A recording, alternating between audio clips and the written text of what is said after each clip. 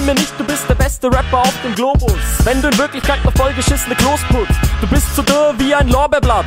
Willst was abhaben, doch ich geb dir keine Lorbeeren ab. Du drohst mir mit ner Backpfeife, in dein Gesicht prallen tonnenschwere Backsteine. Hier im Studio mit Kulturschock und der Nase. Unerreicht wie Goethe in seiner Schaffensphase. Copyright Crew in meinen Grabstein eingraviert.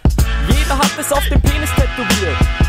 Geh mir aus dem Weg, bevor ich dich zu Brei schlag. Ich werd zum Massenmörder, wie ein Die Hard. Verbringt sein Leben auf der Reeperbahn. Werd nie erwachsen, wie dieser Peter Pan. Für mich bist du nix anderes als Dreckgemoor. Wir gehen von 0 auf 1, wie dieser Macklemore.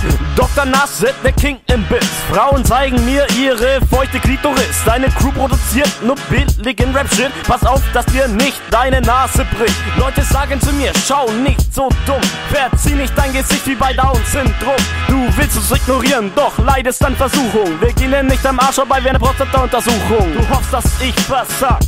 Doch ich bin heiß, so wie Jesus an Christi Himmelfahrt. Ich kann mir die Tracks aus der Nase ziehen und erfülle mir die Wünsche wie dieser Aladdin. Ich bin jetzt ein Superstar.